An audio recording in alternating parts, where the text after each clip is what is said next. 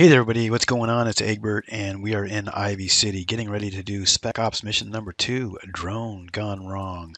So, we've, uh, if you've look over here, um, I've got primary missions that are all done. Um, again, I know I'm going to need all those coins to do upgrades on uh, weapons and get uh, a new weapon to finish this location. So, went ahead did all the primary missions. I've done a few wanted missions, done four of them.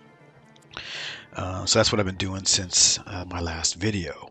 Um, so now let's go into Spec Ops and do this drone gone wrong. Let's go ahead and click on Start Mission.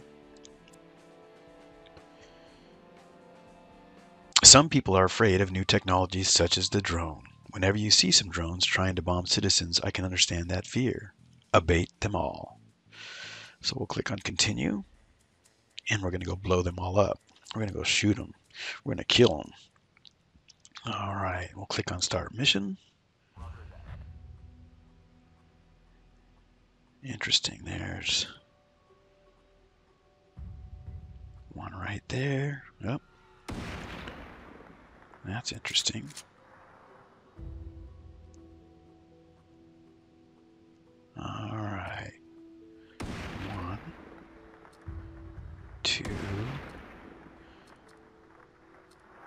Three.